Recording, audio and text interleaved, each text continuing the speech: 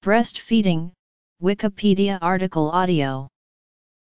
Breastfeeding, also known as nursing, is the feeding of babies and young children with milk from a woman's breast. Health professionals recommend that breastfeeding begin within the first hour of a baby's life and continue as often and as much as the baby wants. During the first few weeks of life babies may nurse roughly every 2 to 3 hours. The duration of a feeding is usually 10 to 15 minutes on each breast. Older children feed less often. Mothers may pump milk so that it can be used later when breastfeeding is not possible. Breastfeeding has a number of benefits to both mother and baby, which infant formula lacks. Deaths of an estimated 820,000 children under the age of 5 could be prevented globally every year with increased breastfeeding. Breastfeeding decreases the risk of respiratory tract infections and diarrhea, both in developing and developed countries.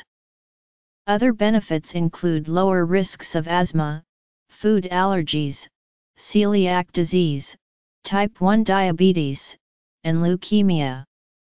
Breastfeeding may also improve cognitive development and decrease the risk of obesity in adulthood. Mothers may feel pressure to breastfeed, but in the developed world children generally grow up normally when bottle fed. Lactation Breast milk Benefits for the mother include less blood loss following delivery, better uterus shrinkage, and less postpartum depression.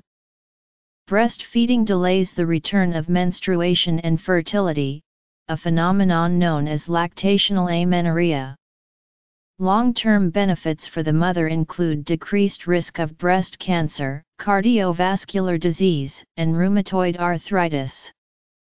Breastfeeding is less expensive than infant formula.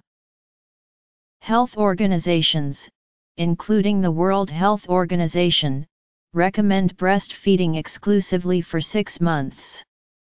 This means that no other foods or drinks other than possibly vitamin D are typically given.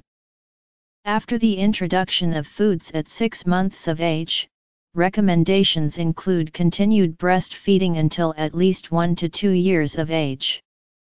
Globally about 38% of infants are only breastfed during their first 6 months of life. In the United States, about 75% of women begin breastfeeding and about 13% only breastfeed until the age of 6 months. Medical conditions that do not allow breastfeeding are rare. Mothers who take certain recreational drugs and medications should not breastfeed. Smoking, limited amounts of alcohol, or coffee are not reasons to avoid breastfeeding. Changes early in pregnancy prepare the breast for lactation. Pre-birth hormone levels become altered after the birth and stimulate the production of milk. From around halfway through pregnancy, the breasts begin to produce colostrum. Colostrum, a thick yellowish fluid rich in protein, continues to be produced for the first few days after delivery. Around 30 to 40 hours after delivery, the composition of milk changes to mature milk and milk volume becomes copious, an event known as the milk coming in. Sucking causes the pituitary to release oxytocin that causes to the contraction of the uterus.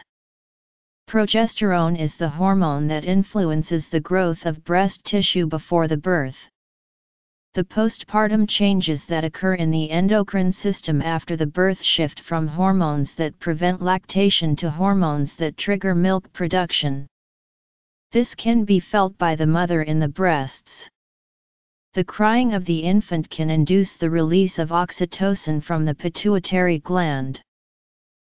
Not all of breast milk's properties are understood, but its nutrient content is relatively consistent. Breast milk is made from nutrients in the mother's bloodstream and bodily stores. Breast milk has an optimal balance of fat, sugar, water, and protein that is needed for a baby's growth and development. Breastfeeding triggers biochemical reactions which allows for the enzymes, hormones, growth factors, and immunologic substances to effectively defend against infectious diseases for the infant. The breast milk also has long-chain polyunsaturated fatty acids which help with normal retinal and neural development. The composition of breast milk changes depending on how long the baby nurses at each session, as well as on the child's age. The first type, produced during the first days after childbirth, is called colostrum.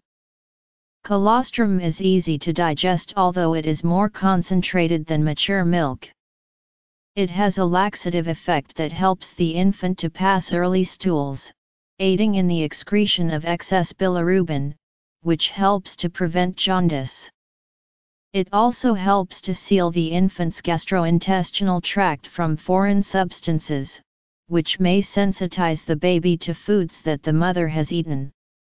Although the baby has received some antibodies through the placenta, colostrum contains a substance which is new to the newborn.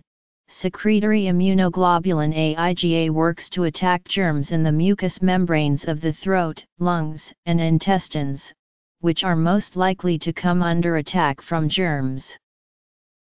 Process Breasts begin producing mature milk around the third or fourth day after birth. Early in a nursing session, the breasts produce foremilk, a thinner milk containing many proteins and vitamins. If the baby keeps nursing, then hind milk is produced. Hind milk has a creamier color and texture because it contains more fat. Breastfeeding can begin immediately after birth. The baby is placed on the mother and feeding starts as soon as the baby shows interest. Commencement According to some authorities, increasing evidence suggests that early skin-to-skin -skin contact between mother and baby stimulates breastfeeding behavior in the baby. Newborns who are immediately placed on their mother's skin have a natural instinct to latch onto the breast and start nursing, typically within one hour of birth. Immediate skin-to-skin -skin contact may provide a form of imprinting that makes subsequent feeding significantly easier. In addition to more successful breastfeeding and bonding, immediate skin-to-skin -skin contact reduces crying and warms the baby. According to studies cited by UNICEF, babies naturally follow a process which leads to a first breastfeed. Initially after birth the baby cries with its first breaths. Shortly after, it relaxes and makes small movements of the arms, shoulders, and head. The baby crawls towards the breast and begins to feed. After feeding, it is normal for a baby to remain latched to the breast while resting. This is sometimes mistaken for lack of appetite. Absent interruptions, all babies follow this process. Rushing or interrupting the process, such as removing the baby to weigh him slash her, may complicate subsequent feeding. Activities such as weighing, measuring, bathing, needle sticks, and eye prophylaxis wait until after the first feeding. Children who are born preterm have difficulty in initiating breastfeeds immediately after birth. By convention, such children are often fed on expressed breast milk or other supplementary feeds through tubes or bottles until they develop satisfactory ability to suck breast milk. Tube feeding, though commonly used, is not supported by scientific evidence as of October 2016. It has also been reported in the same systematic review that by avoiding bottles and using cups instead to provide supplementary feeds to preterm children, a greater extent of breastfeeding for a longer duration can subsequently be achieved. Timing Newborn babies typically express demand for feeding every 1 to 3 hours for the first 2 to 4 weeks. A newborn has a very small stomach capacity.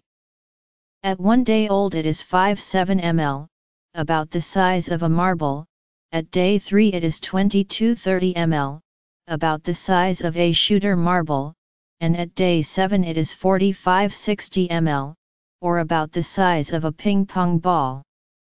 The amount of breast milk that is produced is timed to meet the infant's needs and that the first milk, colostrum, is concentrated but produced in only very small amounts, gradually increasing in volume to meet the expanding size of the infant's stomach capacity.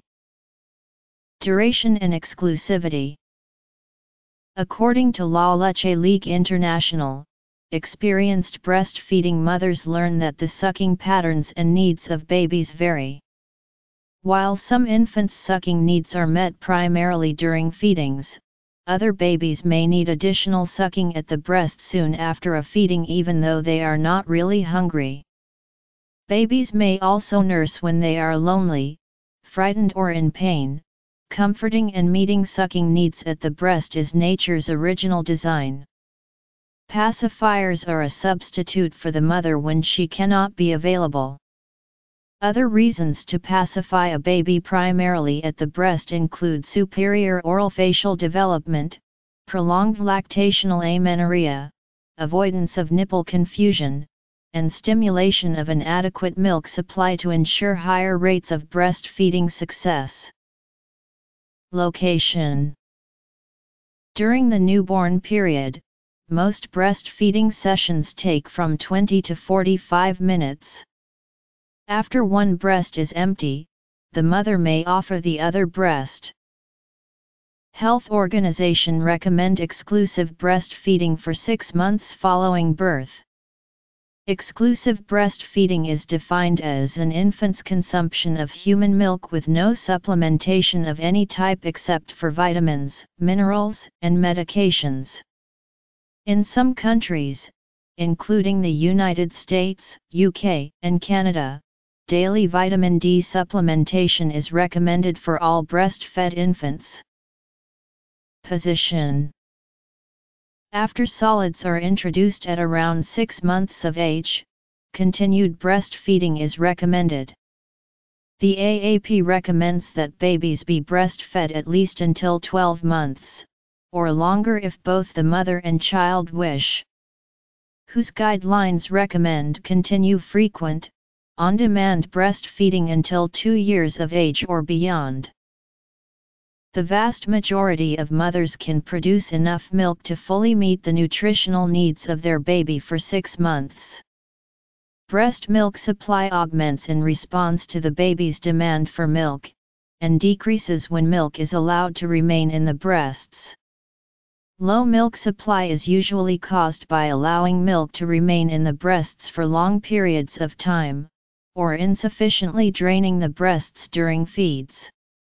It is usually preventable, unless caused by medical conditions that have been estimated to affect up to 5% of women. If the baby is latching and swallowing well, but is not gaining weight as expected or is showing signs of dehydration, low milk supply in the mother can be suspected. Most U.S. states now have laws that allow a mother to breastfeed her baby anywhere. In hospitals, rooming in care permits the baby to stay with the mother and simplifies the process. Some commercial establishments provide breastfeeding rooms, although laws generally specify that mothers may breastfeed anywhere, without requiring a special area. Breastfeeding in public remains controversial in many developed countries. In 2014, newly elected Pope Francis drew worldwide commentary when he encouraged mothers to breastfeed babies in church. During a papal baptism, he said that mothers should not stand on ceremony if their children were hungry. If they are hungry, mothers, feed them, without thinking twice, he said, smiling. Because they are the most important people here. Correct positioning and technique for latching on are necessary to prevent nipple soreness and allow the baby to obtain enough milk. Latching on Babies can successfully latch onto the breast from multiple positions. Each baby may prefer a particular position. The football hold places the baby's legs next to the mother's side with the baby facing the mother. Using the cradle or cross-body hold, the mother supports the baby's head in the crook of her arm. The crossover hold is similar to the cradle hold, except that the mother supports the baby's head with the opposite hand. The mother may choose a reclining position on her back or side with the baby laying next to her. Weaning Illustration depicting correct latch-on position during breastfeeding. Mother adolescence is a risk factor for low breastfeeding rates, although classes, books, and personal counseling can help compensate. Some women fear that breastfeeding will negatively impact the look of their breasts. However, a 2008 study found that breastfeeding had no effect on a woman's breasts. Other factors did contribute to drooping of the breasts, such as advanced age, number of pregnancies and smoking behavior. Partner partners may lack knowledge of breastfeeding and their role in the practice, Wet nursing social and cultural attitudes towards breastfeeding in the African American community are also influenced by the legacy of forced wet nursing during slavery. Breastfeeding cradle hold. Breastfeeding cross cradle position. Breastfeeding football hold. Drugs. Methods. Expressed milk. Shared nursing. Breastfeeding incorrect vs correct latch on. Breastfeeding semi-reclining position. Breastfeeding side-lying position. Breastfeeding supine position. Breastfeeding tease lips or cheek. Breastfeeding twins, cross cradle position I breastfeeding twins, football or clutch hold. Tandem nursing. Breastfeeding twins, parallel position 2. Latching on refers to how the baby fastens onto the breast while breastfeeding. A good latch means that the bottom of the areola is in the baby's mouth and the nipple is back inside his or her mouth. A poor latch happens when the baby does not have enough of the breast in his slash her mouth or is too close to the tip. This can cause cracked nipples and a reluctance to continue to breastfeed. Weaning is the process of replacing breast milk with other foods. The infant is fully weaned after the replacement is complete. Psychological factors affect the weaning process for both mother and infant, as issues of closeness and separation are very prominent. If the baby is less than a year old substitute bottles are necessary, an older baby may accept milk from a cup. Unless a medical emergency necessitates abruptly stopping breastfeeding, it is best to gradually cut back on feedings to allow the breasts to adjust to the decreased demands without becoming engorged. La Leche League advises, the nighttime feeding is usually the last to go. Make a bedtime routine not centered around breastfeeding. A good book or two will eventually become more important than a long session at the breast. Induced lactation. Relactation. Extended. If breastfeeding is suddenly stopped a woman's breasts are likely to become engorged with milk. Pumping small amounts to relieve discomfort helps to gradually train the breasts to produce less milk. There is presently no safe medication to prevent engorgement, but cold compresses and ibuprofen may help to relieve pain and swelling. Pain should go away in 1 to 5 days. If symptoms continue and comfort measures are not helpful a woman should consider the possibility that a blocked milk duct or infection may be present and seek medical intervention. When weaning is complete the mother's breasts return to their previous size after several menstrual cycles. If the mother was experiencing lactational amenorrhea her periods will return along with the return of her fertility. When no longer breastfeeding she will need to adjust her diet to avoid weight gain.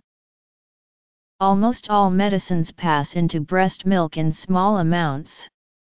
Some have no effect on the baby and can be used while breastfeeding. Many medications are known to significantly suppress milk production, including pseudoephedrine, diuretics, and contraceptives that contain estrogen. The American Academy of Pediatrics states that tobacco smoking by mothers is not a contraindication to breastfeeding. Breastfeeding is actually especially recommended for mothers who smoke, because of its protective effects against SIDS. With respect to alcohol, the AAP states that when breastfeeding, moderation is definitely advised and recommends waiting for two hours after drinking before nursing or pumping. A 2014 review found that even in a theoretical case of binge drinking, the children would not be subjected to clinically relevant amounts of alcohol, and would have no adverse effects on children as long as drinking is occasional. Health effects a mother can express her milk for storage and later use. Expression occurs with massage or a breast pump. It can be stored in freezer storage bags, containers made specifically for breast milk, a supplemental nursing system, or a bottle ready for use. Using someone other than the mother slash wet nurse to deliver the bottle maintains the baby's association of nursing with the mother slash wet nurse and bottle feeding with other people. Breast milk may be kept at room temperature for up to 6 hours, refrigerated for up to 8 days or frozen for 6 to 12 months. Research suggests that the antioxidant activity in expressed breast milk decreases over time, but remains at higher levels than in infant formula. Mothers express milk for multiple reasons. Expressing breast milk can maintain a mother's milk supply when she and her child are apart. A sick baby who is unable to nurse can take expressed milk through a nasogastric tube. Some babies are unable or unwilling to nurse. Expressed milk is the feeding method of choice for premature babies.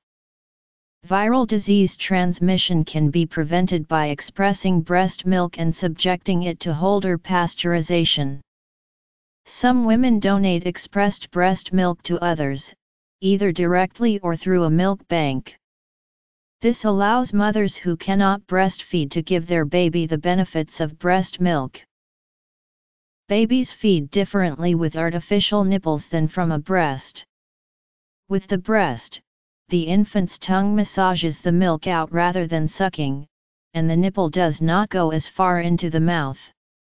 Drinking from a bottle takes less effort and the milk may come more rapidly, potentially causing the baby to lose desire for the breast. This is called nursing strike, nipple strike, or nipple confusion. To avoid this, expressed milk can be given by means such as spoons or cups. Exclusively expressing, exclusively pumping, and EPing are terms for a mother who exclusively feeds her baby expressed milk. With good pumping habits, particularly in the first 12 weeks while establishing the milk supply, it is possible to express enough milk to feed the baby indefinitely. With the improvements in breast pumps, many women exclusively feed expressed milk, expressing milk at work. Women can leave their infants in the care of others while traveling, while maintaining a supply of breast milk. It is not only the mother who may breastfeed her child. She may hire another woman to do so, or she may share childcare with another mother. Both of these were common throughout history. It remains popular in some developing nations, including those in Africa, for more than one woman to breastfeed a child. Shared breastfeeding is a risk factor for HIV infection in infants. Shared nursing can sometimes provoke negative reactions in the English-speaking world. It is possible for a mother to continue breastfeeding an older sibling while also breastfeeding a new baby, this is called tandem nursing. During the late stages of pregnancy, the milk changes to colostrum. While some children continue to breastfeed even with this change, others may wean. Most mothers can produce enough milk for tandem nursing, but the new baby should be nursed first for at least the first few days after delivery to ensure that it receives enough colostrum. Breastfeeding triplets or larger broods is a challenge given babies' varying appetites. Breasts can respond to the demand and produce larger milk quantities. Mothers have breastfed triplets successfully. Induced lactation, also called adoptive lactation, is the process of starting breastfeeding in a woman who did not give birth. This usually requires the adoptive mother to take hormones and other drugs to stimulate breast development and promote milk production. In some cultures, breastfeeding an adoptive child creates milk kinship that build community bonds across class and other hierarchical bonds. Relactation is the process of restarting breastfeeding. In developing countries, mothers may restart breastfeeding after a weaning as part of an oral rehydration treatment for diarrhea. In developed countries, relactation is common after early medical problems are resolved, or because a mother changes her mind about breastfeeding. Baby Growth Relactation is most easily accomplished with a newborn or with a baby that was previously breastfeeding. If the baby was initially bottle fed, the baby may refuse to suckle. If the mother has recently stopped breastfeeding, she is more likely to be able to re-establish her milk supply, and more likely to have an adequate supply. Although some women successfully relactate after months-long interruptions, success is higher for shorter interruptions. Techniques to promote lactation use frequent attempts to breastfeed, extensive skin-to-skin contact with the baby, and frequent, long pumping sessions. Suckling may be encouraged with a tube filled with infant formula, so that the baby associates suckling at the breast with food. A dropper or syringe without the needle may be used to place milk onto the breast while the baby suckles. The mother should allow the infant to suckle at least 10 times during 24 hours, and more times if he or she is interested. These times can include every 2 hours, whenever the baby seems interested, longer at each breast, and when the baby is sleepy when he or she might suckle more readily. In keeping with increasing contact between mother and child, including increasing skin-to-skin contact, grandmothers should pull back and help in other ways. Later on, grandmothers can again provide more direct care for the infant. Infections these techniques require the mother's commitment over a period of weeks or months. However, even when lactation is established, the supply may not be large enough to breastfeed exclusively. A supportive social environment improves the likelihood of success. As the mother's milk production increases, other feeding can decrease. Parents and other family members should watch the baby's weight gain and urine output to assess nutritional adequacy. Mortality Childhood obesity Allergic diseases Other health effects Intelligence Mother Maternal bond Fertility Bleeding Other Diabetes Social factors Social support Healthcare a WHO Manual for Physicians and Senior Health Workers citing a 1992 source states, if a baby has been breastfeeding sometimes, the breast milk supply increases in a few days. If a baby has stopped breastfeeding, it may take one to two weeks or more before much breast milk comes. Extended breastfeeding means breastfeeding after the age of 12 or 24 months, depending on the source. In Western countries such as the United States, Canada, and Great Britain, extended breastfeeding is relatively uncommon and can provoke criticism. In the United States, 22.4% of babies are breastfed for 12 months, the minimum amount of time advised by the American Academy of Pediatrics. In India, mothers commonly breastfeed for two to three years. Support for breastfeeding is universal among major health and children's organizations. WHO states, breast milk is the ideal food for the healthy growth and development of infants. Breastfeeding is also an integral part of the reproductive process with important implications for the health of mothers. Breastfeeding decreases the risk of a number of diseases in both mothers and babies. The U.S. Preventive Services Task Force recommends efforts to promote breastfeeding. Early breastfeeding is associated with fewer nighttime feeding problems. Early skin to skin contact between mother and baby improves breastfeeding outcomes and increases cardiorespiratory stability. Reviews from 2007 found numerous benefits. Breastfeeding aids general health, growth, and development in the infant. Infants who are not breastfed are at mildly increased risk of developing acute and chronic diseases, including lower respiratory infection, ear infections, bacteremia, bacterial meningitis, botulism, urinary tract infection and necrotizing enterocolitis. Breastfeeding may protect against sudden infant death syndrome, insulin-dependent diabetes mellitus, Crohn's disease, ulcerative colitis, lymphoma, allergic diseases, digestive diseases, obesity, developed diabetes, or childhood leukemia later in life. And may enhance cognitive development. The average breastfed baby doubles its birth weight in 5-6 months. By one year, a typical breastfed baby weighs about 2 minus a half times its birth weight. At one year, breastfed babies tend to be leaner than formula-fed babies, which improves long-run health.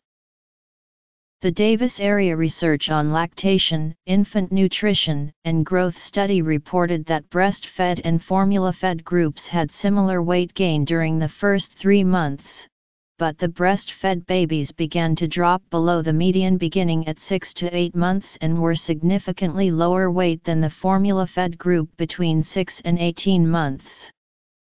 Length gain and head circumference values were similar between groups, suggesting that the breastfed babies were leaner. Breast milk contains several anti-infective factors such as bile salt-stimulated lipase and lactoferrin. Exclusive breastfeeding till 6 months of age helps to protect an infant from gastrointestinal infections in both developing and industrialized countries.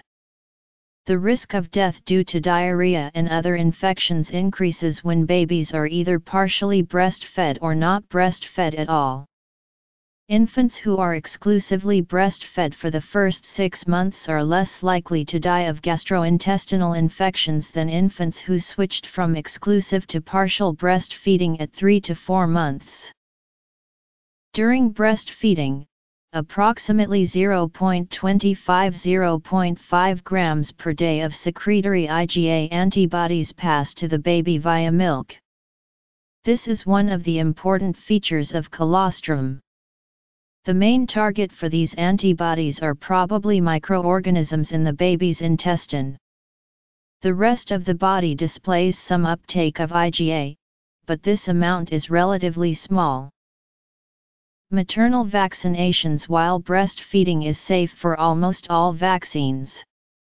Additionally, the mother's immunity obtained by vaccination against tetanus, diphtheria, whooping cough, and influenza can protect the baby from these diseases, and breastfeeding can reduce fever rate after infant immunization. However, smallpox and yellow fever vaccines increase the risk of infants developing vaccinia and encephalitis. Babies who receive no breast milk are almost six times more likely to die by the age of one month than those who are partially or fully breastfed. The protective effect of breastfeeding against obesity is consistent, though small, across many studies. A 2013 longitudinal study reported less obesity at ages 2 and 4 years among infants who were breastfed for at least 4 months. In children who are at risk for developing allergic diseases, atopic syndrome can be prevented or delayed through 4-month exclusive breastfeeding, though these benefits may not persist. Breastfeeding may reduce the risk of necrotizing enterocolitis. Breastfeeding or introduction of gluten while breastfeeding don't protect against celiac disease among at-risk children. Breast milk of healthy human mothers who eat gluten-containing foods presents high levels of non-degraded gliadin. Early introduction of traces of gluten in babies to potentially induce tolerance doesn't reduce the risk of developing celiac disease. Delaying the introduction of gluten does not prevent, but is associated with a delayed onset of the disease. About 19% of leukemia cases may be prevented by breastfeeding for 6 months or longer. Breastfeeding may decrease the risk of cardiovascular disease in later life, as indicated by lower cholesterol and C-reactive protein levels in breastfed adult women. Breastfed infants have somewhat lower blood pressure later in life, but it is unclear how much practical benefit this provides. A 1998 study suggested that breastfed babies have a better chance of good dental health than formula-fed infants because of the developmental effects of breastfeeding on the oral cavity and airway. It was thought that with fewer malocclusions, breastfed children may have a reduced need for orthodontic intervention. The report suggested that children with a well-rounded, U-shaped dental arch, which is found more commonly in breastfed children, may have fewer problems with snoring and sleep apnea in later life. A 2016 review found that breastfeeding protected against malocclusions. Breastfeeding duration has been correlated with child maltreatment outcomes, including neglect and sexual abuse. It is unclear whether breastfeeding improves intelligence later in life. Several studies found no relationship after controlling for confounding factors like maternal intelligence. However, other studies concluded that breastfeeding was associated with increased cognitive development in childhood, although the cause may be increased mother-child interaction rather than nutrition. Breastfeeding may improve a mother's physical and emotional health. Hormones released during breastfeeding help to strengthen the maternal bond. Teaching partners how to manage common difficulties is associated with higher breastfeeding rates. Support for a breastfeeding mother can strengthen familial bonds and help build a paternal bond. Exclusive breastfeeding usually delays the return of fertility through lactational amenorrhea, although it does not provide reliable birth control. Breastfeeding may delay the return to fertility for some women by suppressing ovulation. Mothers may not ovulate, or have regular periods, during the entire lactation period. The non-ovulating period varies by individual. This has been used as natural contraception, with greater than 98% effectiveness during the first six months after birth if specific nursing behaviors are followed. While breastfeeding soon after birth is believed to increase uterus contraction and reduce bleeding, high quality evidence to support this is lacking. It is unclear whether breastfeeding causes mothers to lose weight after giving birth. The National Institutes of Health states that it may help with weight loss. For breastfeeding women, long-term health benefits include reduced risk of breast cancer, ovarian cancer, and endometrial cancer. A 2011 review found unclear if breastfeeding affects the risk of postpartum depression. Other reviews found tentative evidence of a lower risk among mothers who successfully breastfeed. Breastfeeding of babies is associated with a lower chance of developing diabetes mellitus type 1. Breastfed babies also appear to have a lower likelihood of developing diabetes mellitus type 2 later in life. Breastfeeding is also associated with a lower risk of type 2 diabetes among mothers who practice it. The majority of mothers intend to breastfeed at birth. Many factors can disrupt this intent. Research done in the US shows that information about breastfeeding is rarely provided by a women's obstetricians during their prenatal visits and some health professionals incorrectly believe that commercially prepared formula is nutritionally equivalent to breast milk. Many hospitals have instituted practices that encourage breastfeeding, However a 2012 survey in the U.S. found that 24% of maternity services were still providing supplements of commercial infant formula as a general practice in the first 48 hours after birth. The Surgeon General's call to action to support breastfeeding attempts to educate practitioners. Breastfeeding support leads to increasing the duration and exclusivity of breastfeeding. Positive social support in essential relationships of new mothers plays a central role in the promotion of breastfeeding outside of the confines of medical centers. Social support can come in many incarnations, including tangible, affectionate, social interaction, and emotional and informational support. An increase in these capacities of support has shown to greatly positively affect breastfeeding rates, especially among women with education below a high school level. In the social circles surrounding the mother, support is most crucial from the male partner, the mother's mother, and her family and friends. Research has shown that the closest relationships to the mother have the strongest impact on breastfeeding rates, while negative perspectives on breastfeeding from close relatives hinder its prevalence. Work is the most commonly cited reason for not breastfeeding. In 2012 Save the Children examined maternity leave laws, ranking 36 industrialized countries according to their support for breastfeeding. Norway ranked first, while the United States came in last. Maternity leave in the U.S. varies widely, including by state, despite the Family Medical Leave Act, which guarantees most mothers up to 12 weeks unpaid leave. The majority of U.S. mothers resume work earlier. Infants that are otherwise healthy uniformly benefit from breastfeeding. No known disadvantages stem from breastfeeding. However, extra precautions should be taken or breastfeeding be avoided in circumstances including certain infectious diseases, or use of certain medications. In some cases it may not be feasible for the mother to continue breastfeeding. A number of hospital-employed procedures have been found to interfere with breastfeeding, including routine mother-slash-baby separation, delayed initiation, vigorous routine suctioning, medications, and mode of delivery. There are also racial disparities in access to maternity care practices that support breastfeeding. In the U.S., primarily African American neighborhoods are more likely to have facilities that do not support breastfeeding, contributing to the low rate of breastfeeding in the African American community.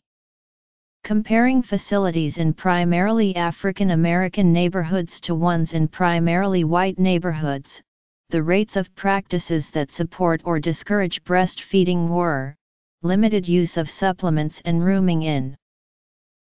Pain caused from mispositioning the baby on the breast or a tongue tie in the infant can cause pain in the mother and discourage her.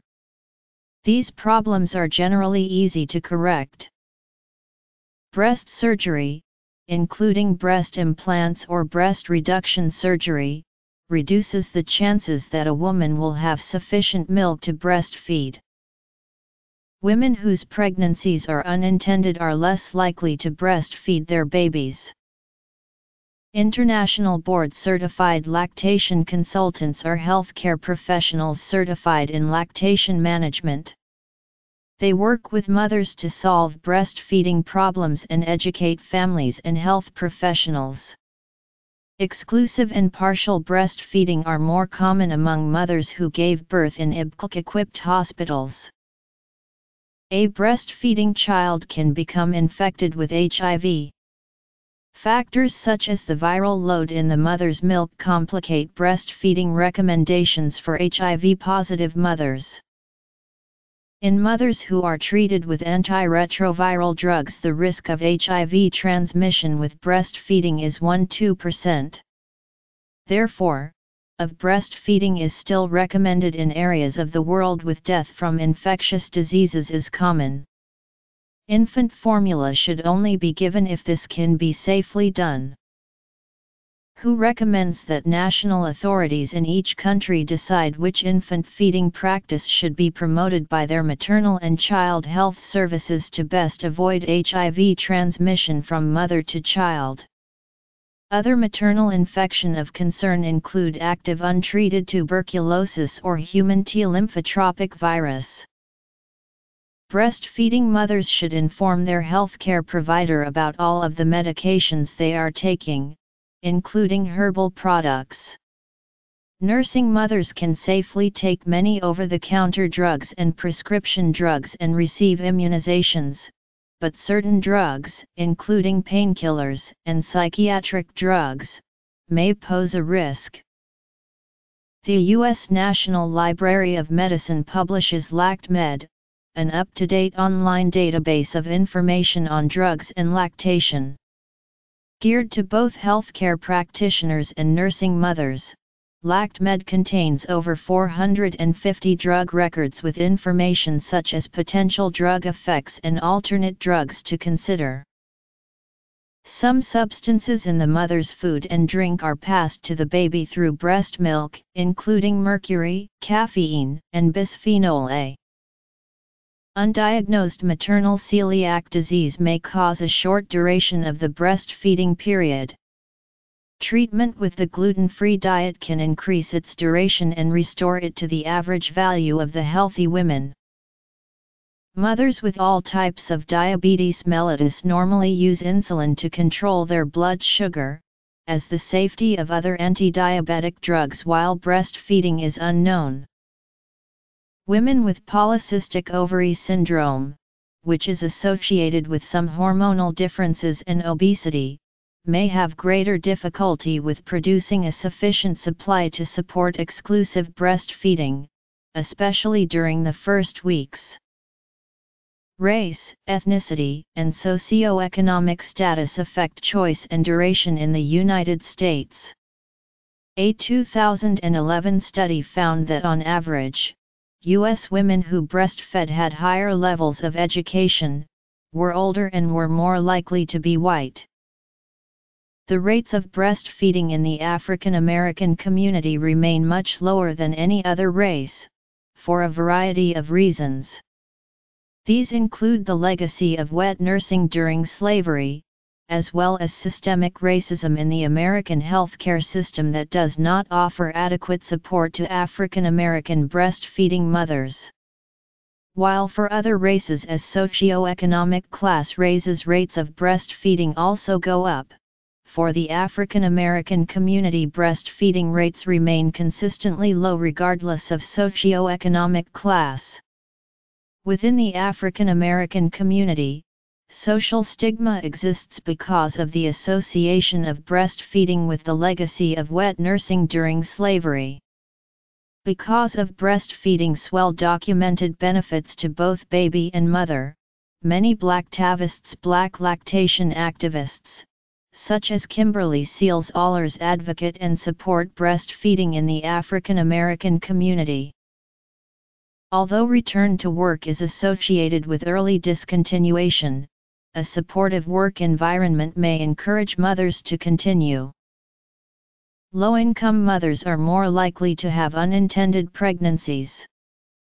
Mothers whose pregnancies are unintended are less likely to breastfeed. Some women feel discomfort when breastfeeding in public.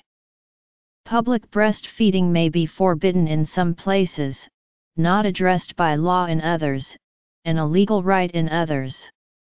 Even given a legal right, some mothers are reluctant to breastfeed, while others may object to the practice. The use of infant formula was thought to be a way for Western culture to adapt to negative perceptions of breastfeeding. The breast pump offered a way for mothers to supply breast milk with most of formula feeding's convenience and without enduring possible disapproval of nursing. Some may object to breastfeeding because of the implicit association between infant feeding and sex. These negative cultural connotations may reduce breastfeeding duration. Maternal guilt and shame is often affected by how a mother feeds her infant. These emotions occur in both bottle and breastfeeding mothers, although for different reasons. Bottle feeding mothers may feel that they should be breastfeeding. Conversely, breastfeeding mothers may feel forced to feed in uncomfortable circumstances. Some may see breastfeeding as indecent, disgusting, animalistic, sexual, and even possibly a perverse act. Advocates use nurse-ins to show support for breastfeeding in public. Some advocates emphasize providing women with education on breastfeeding's benefits as well as problem-solving skills. Globally about 38% of babies are just breastfed during their first six months of life. In the United States as of 2012, 75% of women started breastfeeding, 43% breastfeed for 6 months though only 13% exclusively breastfed, and 23% breastfeed for 12 months.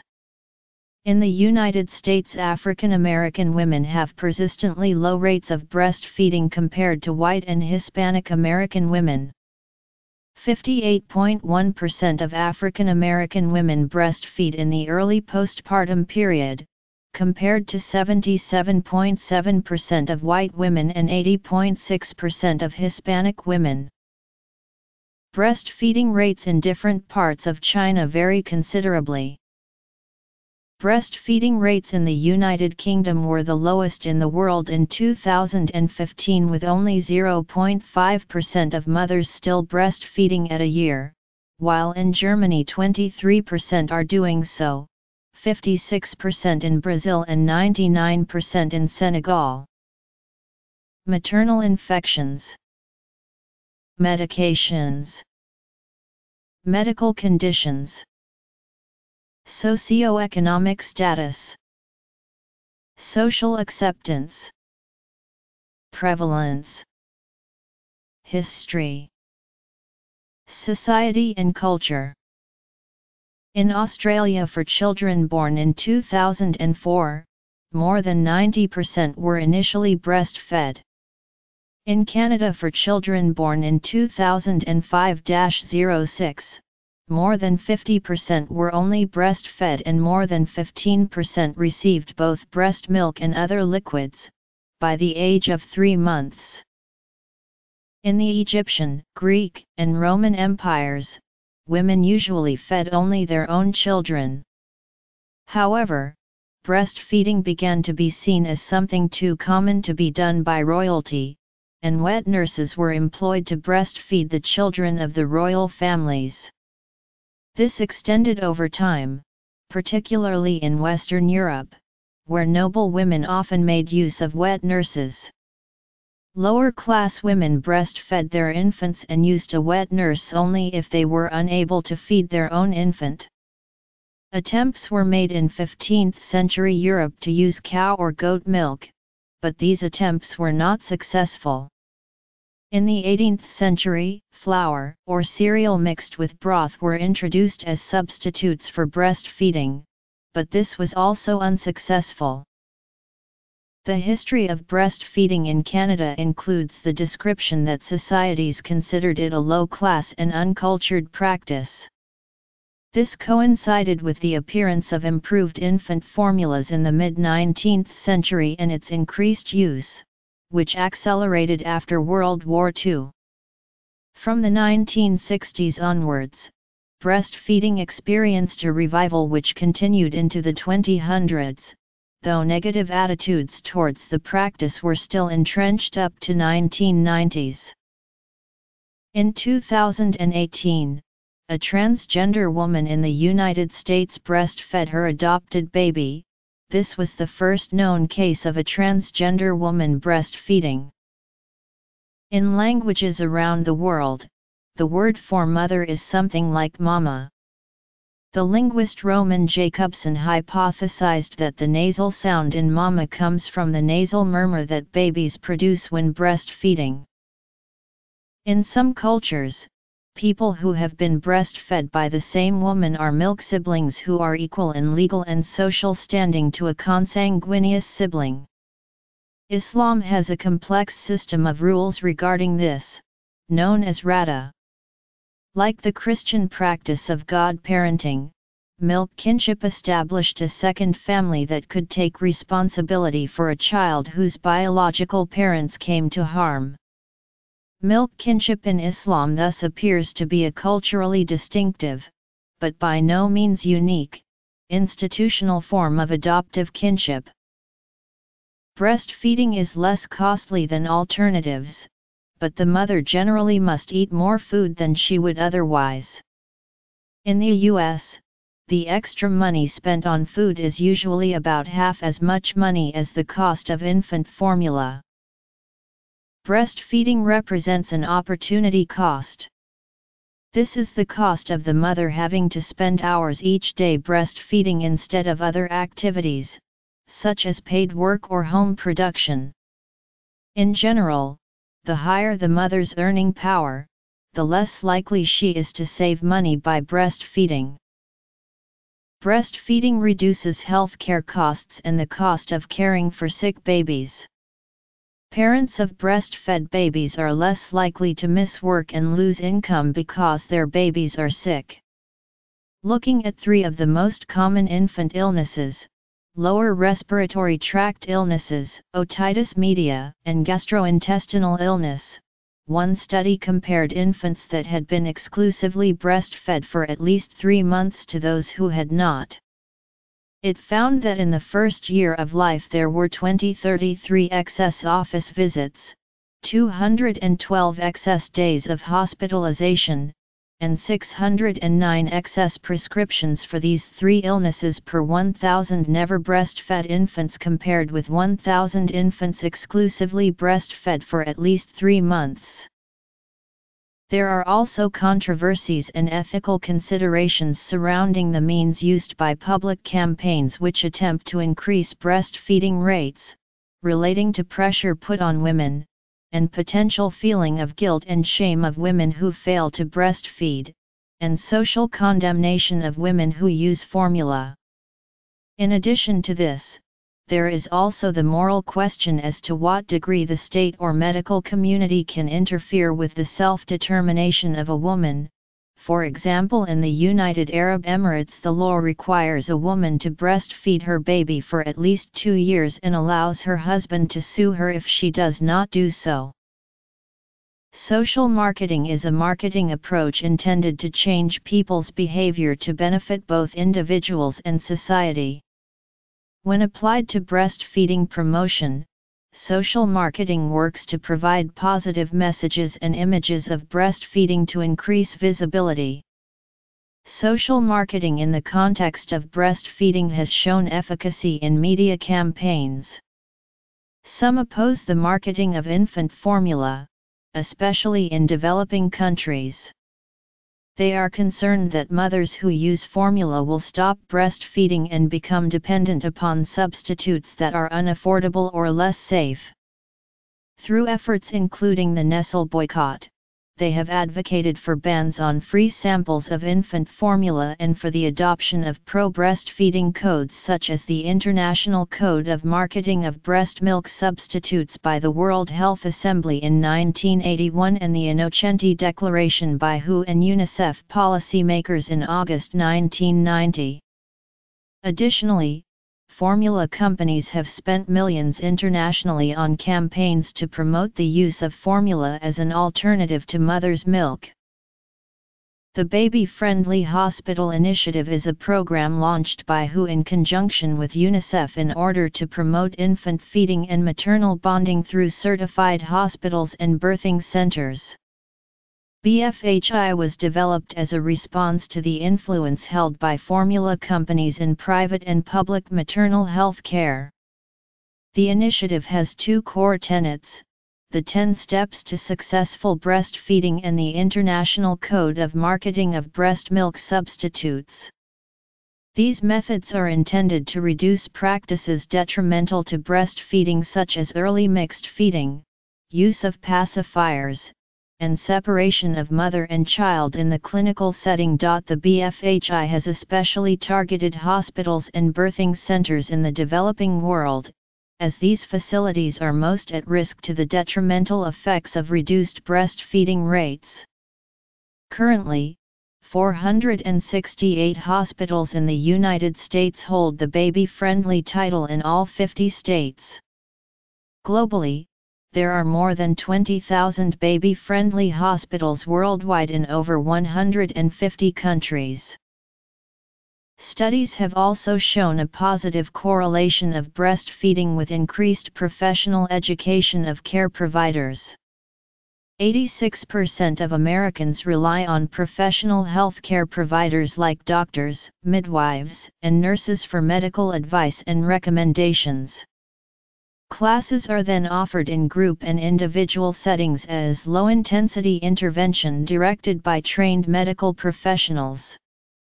Research conducted at large healthcare institutions in Massachusetts has demonstrated a statistically significant increase in breastfeeding rates for mothers who participate in breastfeeding and lactation training.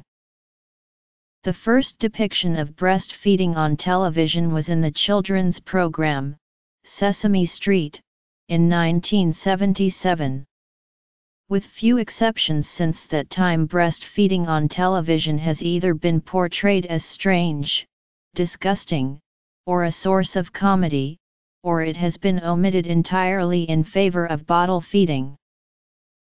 Breastfeeding research continues to assess prevalence, HIV transmission, pharmacology, costs, benefits, immunology, contraindications, and comparisons to synthetic breast milk substitutes. Factors related to the mental health of the nursing mother in the perinatal period have been studied. While cognitive behavior therapy may be the treatment of choice, medications are sometimes used. The use of therapy rather than medication reduces the infant's exposure to medication that may be transmitted through the milk. In coordination with institutional organisms, researchers are also studying the social impact of breastfeeding throughout history. Accordingly, strategies have been developed to foster the increase of the breastfeeding rates in the different countries. Language Milk kinship. Financial considerations. Advocacy. Social marketing. Baby-friendly hospital initiative. Representation on television. Research. Bibliography